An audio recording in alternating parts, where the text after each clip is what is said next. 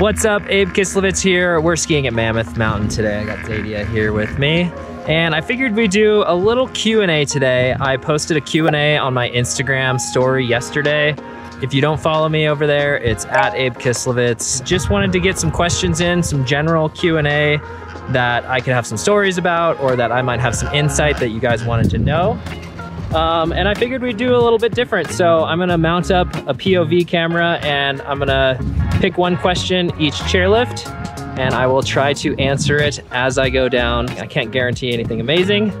Hasn't snowed in quite a while, so we're gonna do a little bit of park this morning, but yeah, thanks for joining and I hope you guys enjoy. The first question here actually comes from four different people at Rock Movie, at Tendy Boy, at Asagal17 and at Mason.Vanderberg. How did you get started at GoPro? Great question, and I'll get you guys on the way down. Zadia's third time on skis. She's crushing it. We just went to the thrift shop and found her a whole boot ski binding setup. Look at her go. Oh, it's a little windy out here, so hopefully the audio is not terrible. I apologize. When I was in college at USC, I was studying engineering and I was on the USC ski and snowboard team. I helped run it. And I was skiing this very park pretty much every single weekend. Let's pause for a second and get through a majority of the story. I really got into filming, but the only camera that I could afford was a little point and shoot um, Canon Digital ELPH had really bad video. And I just started filming every weekend. One day, one of the guys on our team went to a trade show and GoPro had given them two cameras. They were original, before the HD, the original GoPro Hero cameras that took uh, AAA batteries. I was so stoked that a company believed in us enough to give us a free camera. I thought that was just insane. But that was right around when I started my YouTube channel. And I was just posting uh, USC ski team videos of the week. They're still up there if you want to check them out. And it was just me going around filming my friends.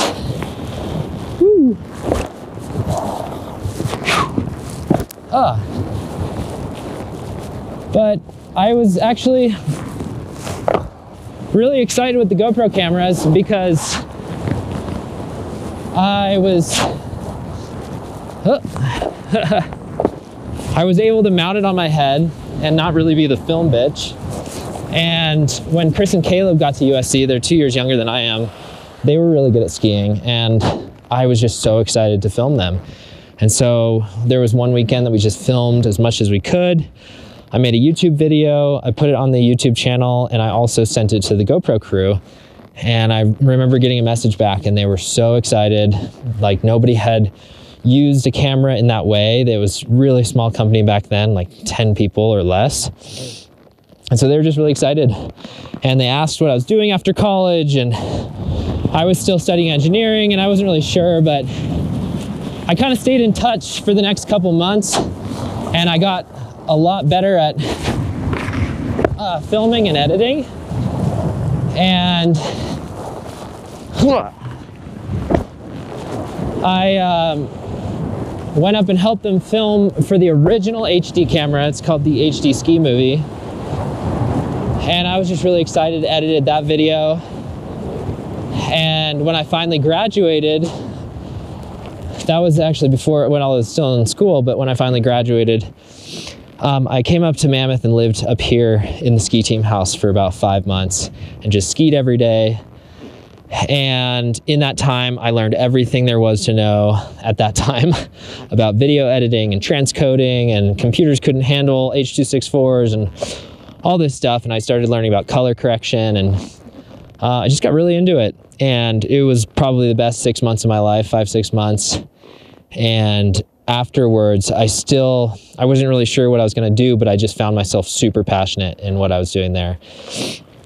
And so at the end of that ski season, um, I got a job offer from GoPro and they were like, you should come out to San Francisco. That's where GoPro was at the time. And I wasn't really sure because it was a super small startup. I had just spent four years of my life grinding away at USC studying engineering, um, put myself through school, spent a lot of money. And so it was just, it wasn't really sure that GoPro was going to be big, but I was really passionate about it. And uh, so I moved out to San Francisco And the rest is history.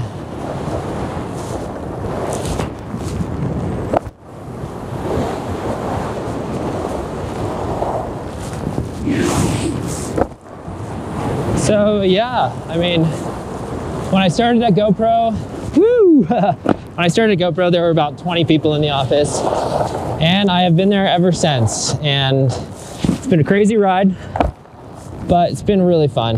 And I really haven't found the, another place that seems desirable because the intersection of art, which I'm really passionate about, and technology um, it's just kind of the perfect fit for me. And then obviously action sports and being able to go outside and and kind of use everything that I'm passionate about into one job.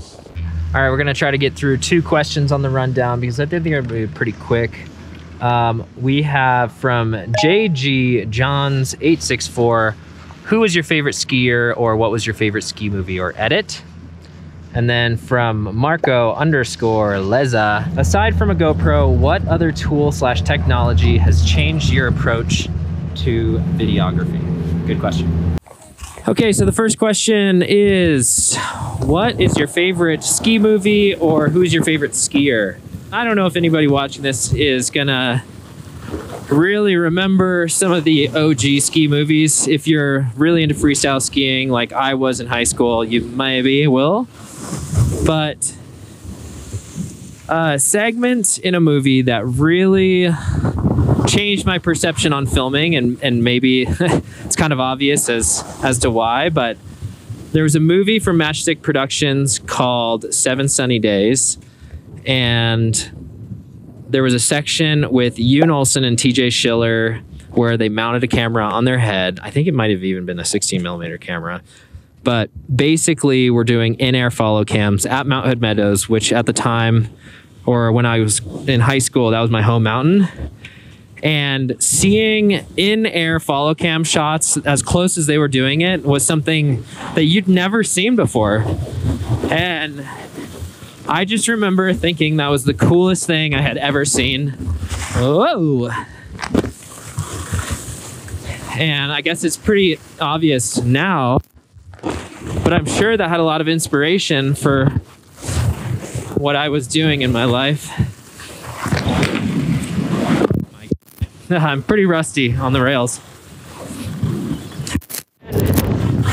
I think just at the time, Jon Olsson was so influential when I was in high school back in like 2003, 2005. Very early days of freestyle skiing. And beyond that, obviously, Tom Wallisch is just a legend in freestyle skiing.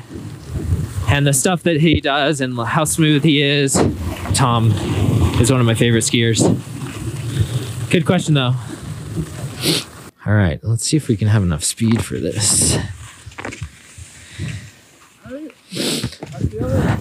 So the second question is what technology other than GoPros have changed your uh, changed.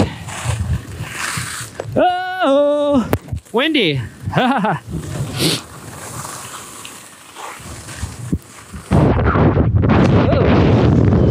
Stabilization is a huge thing that has changed filmmaking for me. So Originally, the introduction of gimbals was absolutely huge. And even before gimbals, we started playing with steady cams. I'm sure a lot of people remember glide cams. So glide cams is kind of the first, hi, glide cams is kind of the first introduction of stabilization. And so we were using like the glide cam HD 2000 with a GoPro. And then electronic gimbals came out and then I think the next iteration obviously is, is mechanical and digital stabilization. But if you go back and look at kind of what I used to film, I always would film in slow motion because slow motion, you can slow it down and so your clips aren't as shaky. And with the introduction of stabilization, you're just able to film a lot more stuff in real time.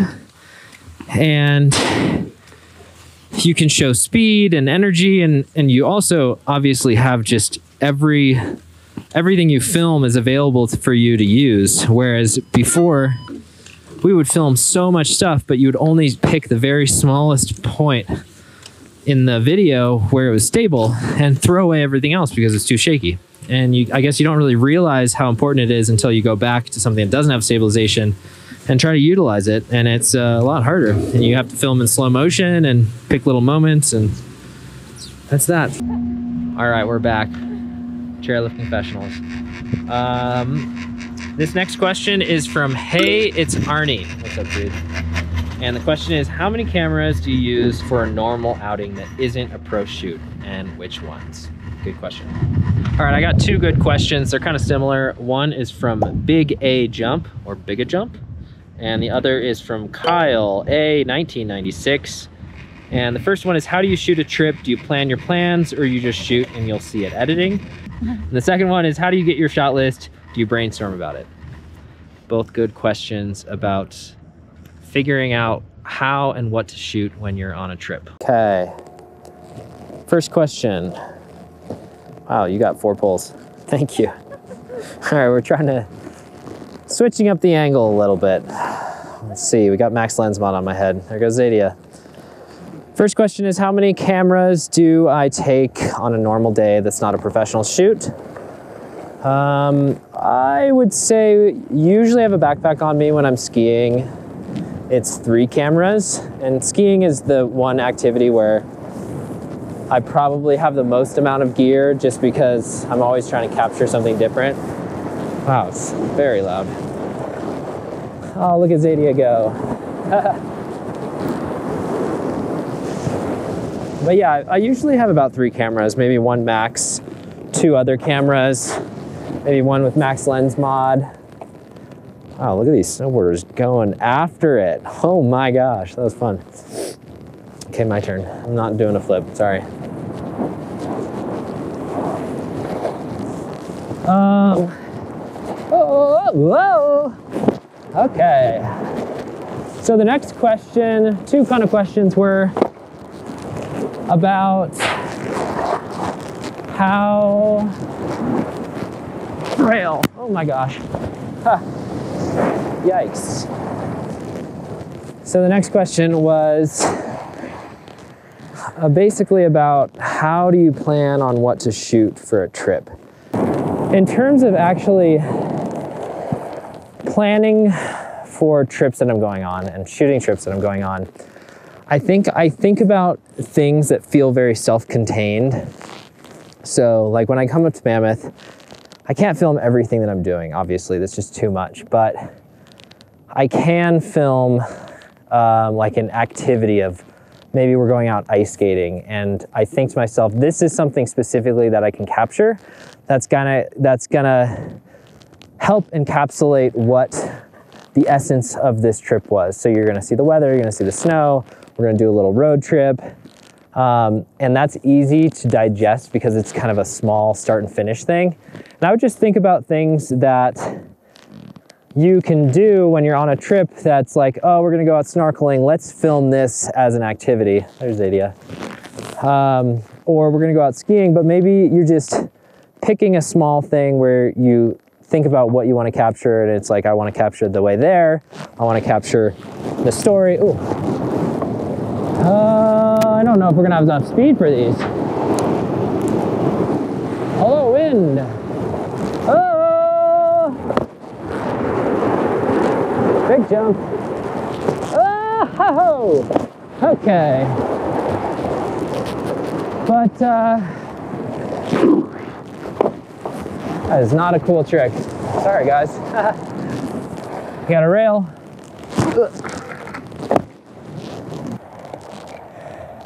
But yeah, I guess the, the gist of it is when I'm traveling, I'm not filming everything.